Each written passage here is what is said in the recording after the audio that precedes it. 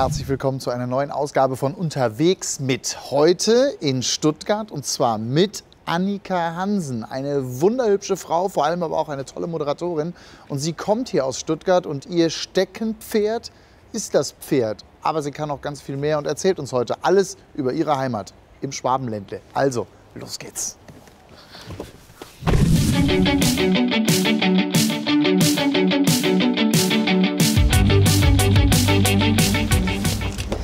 Normal würde ich immer aussteigen im wahren Leben. Schätzelein, hallo. Geht's Herzlich dir gut? willkommen. Ja, total. So, du zeigst mir dein Stuttgart. Ich bin ja echt gespannt. Ja, ich bin ja äh, eigentlich Kölnerin, Ja, aber inzwischen eben. ist Stuttgart sozusagen meine Zweitheimat, Warum? ähm, weil mein Freund hierher kommt und weil ich jetzt seit dreieinhalb Jahren auch sehr, sehr, sehr viel in Stuttgart bin und das ist tatsächlich so meine zweite Lieblingsstadt geworden und irgendwie Heimat. Okay. Und jetzt geht's los.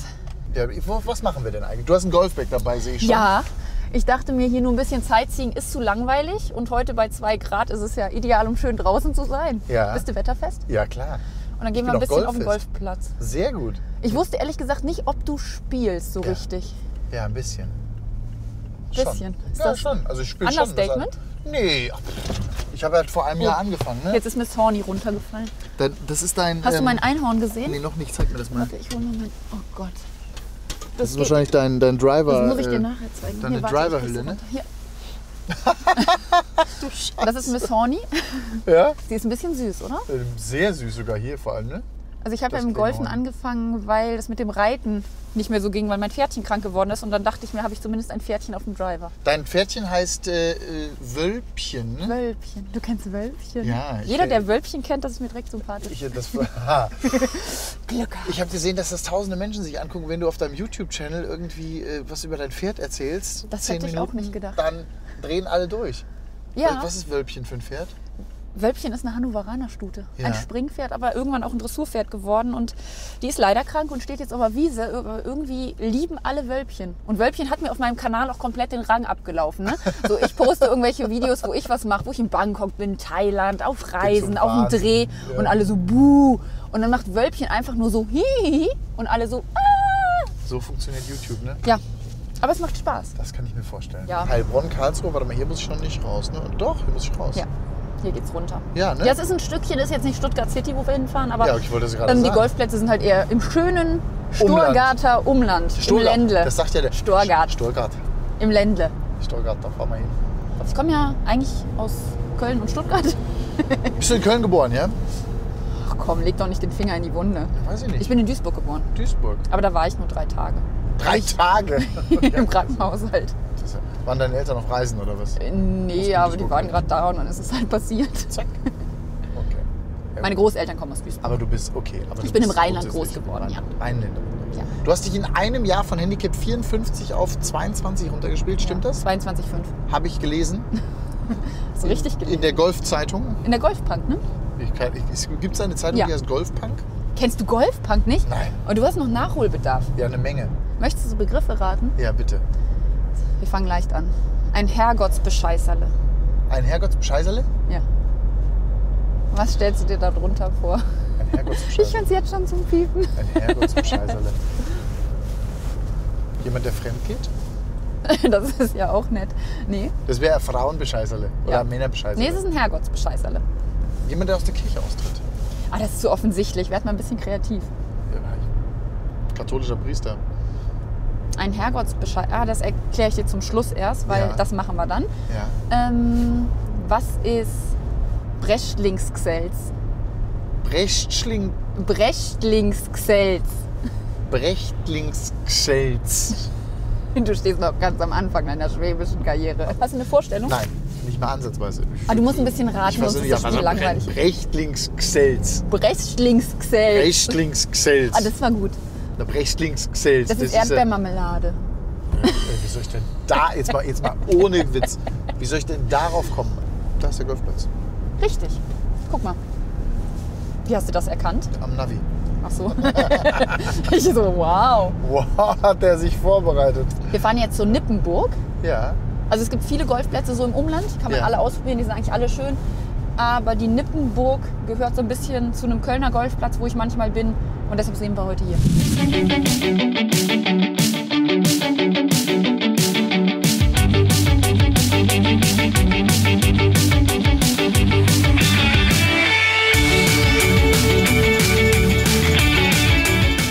Wahnsinn. Deine Tasche. Ja, Und da ich. würden sich manche drum kloppen. Meinst du? Ja, wie Bälle. Gibt es so Typen, die dich angraben auf dem Golfplatz? So 80-Jährige? Ähm, nee. Ich mache tatsächlich eher die Erfahrung, dass Männer einen immer belehren wollen. Ja, du bist dann als Mädel da und gut, ich spiele jetzt auch noch nicht so ewig Golf und klappen manche Sachen gut, manche nicht und dann kommt immer so die Belehrernummer so, Mädchen, ich zeig dir mal, wie das geht. Ja, oder du kannst Hoffnung haben, kein nicht schlechter Talent. Dresscode-mäßig sind wir natürlich eigentlich echt äh, unterste Liga heute. ja, also da, was Aber halt egal. überhaupt nicht geht, ist natürlich mit Jeans. Ne? Also Ja. ich, ich finde, du gehst ja noch, obwohl das auch eine Jeans ist. Ja, ich habe auch Löcher in der Hose. Da würde sich eigentlich jeder Golfpräsident im Club umdrehen. Und Da Hast du so Routine richtig und nee, so? Oder nee bist gar nicht null. Ich nehme jetzt mal eine 8 und dann haue ich ja, das Ding mal da, Vollgas, der Herr. Ich dann hau ich das Ding mal da raus. Aber es ist, äh, Warte, lass mich das kurz wiederholen. Du haust das Ding jetzt raus, ja? Na, lass mal sehen. Ja, ein bisschen Boden, aber was habe ich gesagt, 125 ist 115. beim Golf. So, also mein bist du Auto, ja? picky? Mein Auto sieht immer aus wie eine Müllhalde, weil ich da drin lebe. Bei mir auch. Meine Schläger blitzsauber. Kannst dein Achtereisen erstmal putzen jetzt hier.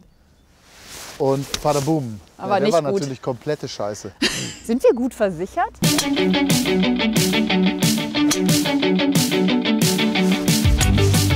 Warst du in der Schule schon hübsch? Sah früher aus wie ein Junge. Ja. Ja, kennst du die fünf Freunde? Ja. Kennst du George? Ja. Ich wollte George sein. Ich habe mir die Haare von hintern lang so kurz abrasieren lassen in der vierten Klasse. Okay. Also wirklich so einen Zentimeter oder kürzer. Ja. Und danach habe ich eine Bande gegründet. Dick, Julian, George und, Und Anne. genau. Und Timmy, der Hund. Und Timmy der Hund. Ja. Gibt ich einen Song, aber den kann ich nicht mehr. Habe ich auch geliebt. Oh, ich fand das super. Und ich wollte halt echt so ein kleiner Junge sein. Und irgendwann habe ich mir aber mit 14 gedacht, ach, irgendwie die ganzen Jungs, in die du verknallt bist, die finden dich nicht so cool, weil die denken, du bist ein Typ. Und Genau. mal wieder ein Mädchen. Und dann bist du wieder ein Mädchen geworden? Ja. Wann war das so, dass jetzt zum ersten Mal Jungs gesagt haben, so, ey, die Annika, die will ich haben? So 15, 16 oder? Also meinen ersten Freund hatte ich mit 15. Okay. Aber mit dem war ich auch zweieinhalb Jahre zusammen. Und wann wurdest du zum Schwarm? Also du bist ja heute, heute gibt es ja viele Männer, die sagen, Mensch, die Annika ist echt eine hübsche, die will ich ja gerne mal sagen? Ich sehe kennenlernen. mich selber halt gar nicht so. Ich finde das immer sehr schmeichelhaft. Hier darf man rechts abbiegen. das Weiß ist ich ja, aber man muss halten, das ist ja wie ein Stoppschild. Äh, Ich finde das sehr schmeichelhaft und ich finde das natürlich auch nett, wenn Leute das sagen. Und wenn ich jetzt ins Spiel gucke, ich denke da nicht so, oh mein Gott, äh, wie scheiße. Aber ich selber denke mir immer so, wenn die Leute mich kennenlernen würden, die würden es gar nicht mit mir aushalten. Weil ich halt schon chaotisch, laut, wild, äh, also ich weiß immer nicht, ob die Leute so das im Kopf haben, wenn sie mich nur sehen. Das Schöne hier im Ländle ist ja so, wenn du jetzt mal aus Stuttgart City rausgehst, was natürlich sehr modern ist, Einkaufszentren, alles, dann ist es halt echt so. Ländle. Es Ja, ist halt Ländle. Es ist, ich mag's. Hier ist Ditzingen. Ich stehe ja total auf so Serien, wo die Hauptdarsteller mehr einen an der Klatsche haben als ich. Mit allen meinen Gästen spiele ich immer entweder oder. Ich gebe dir zwei Antwortmöglichkeiten und du musst sagen, welches für dich die richtige Antwort ist. Mhm. Hab oder ich was? verstanden. Ne? Bist du bereit? Ja, Zypern oder Katar? Zypern. Turmspringen oder Völkerball? Völkerball. Morgenmuffel oder Frühaufsteher? Frühaufsteher. Einhorn oder Pferd? Pferd. Fitnessstudio oder Laufsteg? Fitnessstudio. High Heels oder Golfschuhe? Golfschuh. Salat oder Burger? Burger. Fragen oder Antworten? Fragen. Serien oder Filme? Serie. Raab oder Elton? Elton. Bar oder Karte? Karte.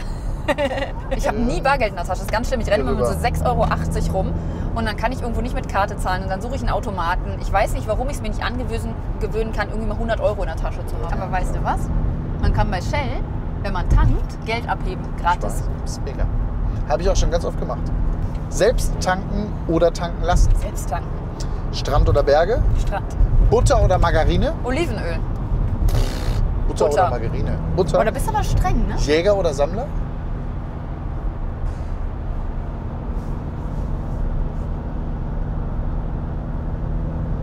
Jäger. Fertig! Sollen wir entweder oder auch andersrum spielen? Bitte, hau rein. Boah, das ist aber jetzt echt spontan, ne? Ja. Brünett oder blond? Blond. Hund oder Katze? Und Fußball oder Boxen? Fußball. Ähm, Fußball gucken oder Fußball spielen? Gucken. Echt? Ja. Spielst du nicht selber? Nein. Also doch, aber halt schlecht. Ich war in meiner Fußball-AG. Boah. Und dann bin ich rausgeflogen, weil ich habe lieber Das die. Schienbeine getreten Ja, das denke ich mir. als den Ball. Guck mal, da ist eine Tanke. Eine Ey. große. Ich habe normalerweise bringe ich meinen Leuten immer, äh, meinen Gästen immer wie einen Kaffee mit oder ein Croissant habe ich bei dir heute Ich Morgen gar vergessen. nichts bekommen. Nein, weil es so knapp war. Ich würde dich jetzt gerne irgendwie auf was Kleines einladen. Ein Eis. Ja? Ein Eis? Weißt du, was ich tatsächlich immer Ein mache? Noggerschock mit Schokolade Liebst du? Nogger? Ja! Ich liebe Nogger, das Ich hat dir jemand verraten. Nein, ich schwör's dir. Ich nein. liebe Nogger, ich auch. aber ohne mit Schock. Scho- Wir Nee, ich will ohne Schock. Du ohne Schock, ich mit Schock. Ich liebe Nogger.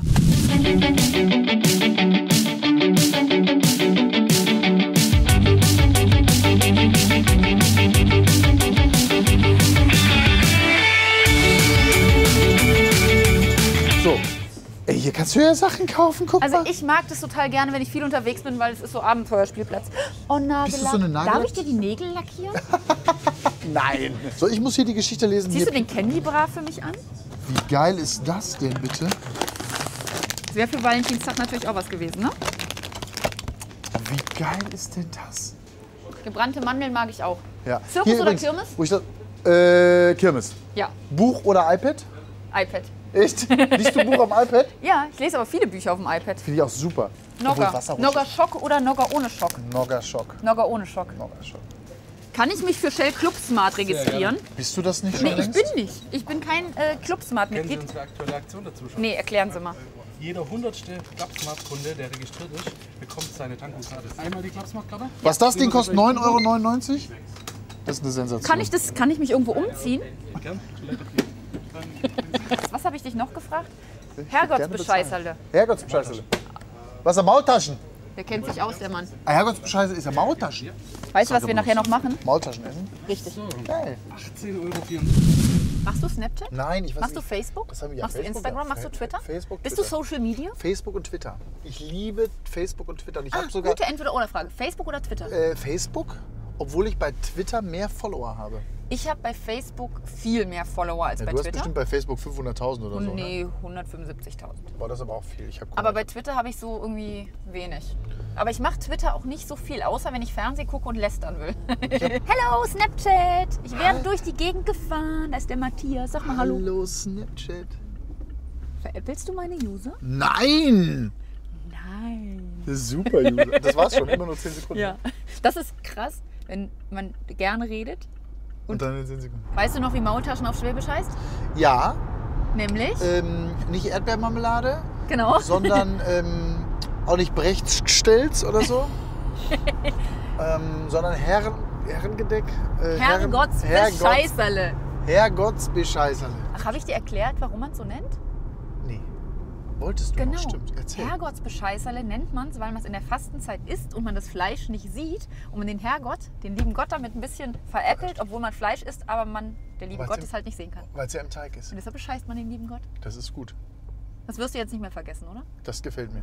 Ja. Weißt du, was eine Grombiere ist? Eine Grombiere, der, das ist eine Suppen, ein Suppenlöffel an ist dem das. Spiel ist ja, dass du rätst und dich damit zum Otto machst. Genau, das ist ein Suppenlöffel. Und zwar ein Suppenlöffel für die Brombeersuppe, die man eine Grombiere, deshalb so ein bisschen der Name ähnlich, die man ähm, im Nordschwäbischen ähm, rund um Ludwigsburg gerne isst.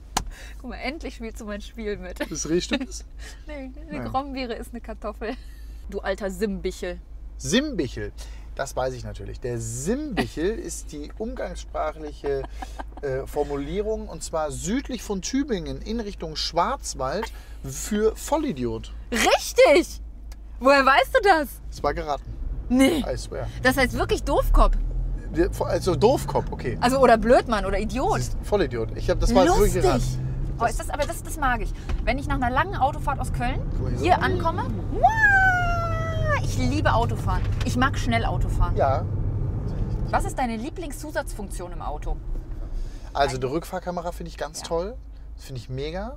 Was ich auch total gerne nutze, ist, wenn ich im Stau stehe oder in der Stadt, ist die Fernsehfunktion. Ich habe im Navi so eine Fernsehfunktion. Oh, das darf man aber aber ich habe doch, die geht ja dann aus, wenn es fährt.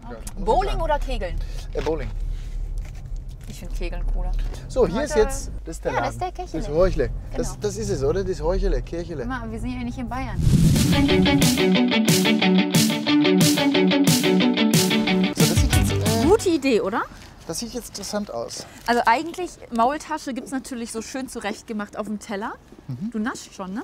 Ja, aber ich meine, Aber- wenn ich so Dinge in der Hand habe, Ich finde halt die Idee total toll, dass es so ein urschwäbisches Gericht einfach to go gibt. das ist ja lecker. Boah, Und wie heißt es? Herrgotts Scheißerle. Endlich. Lass, jetzt zeigst du mir deinen romantischen Ort. Ja. Okay? Club oder Bar? Ähm, ich bin so alt. geworden, ey. Weiß Nicht. ich nicht mehr. Bar. Selber kochen. Bar. Selber kochen. Selber kochen. Nee, weißt du, aber ganz ehrlich, weißt du, was die Party der Mitte 30-Jährigen ist? Ja? Ein Fondue-Abend. Ah nee, so schlimm ist es nicht. Doch, bei uns ist es mittlerweile so.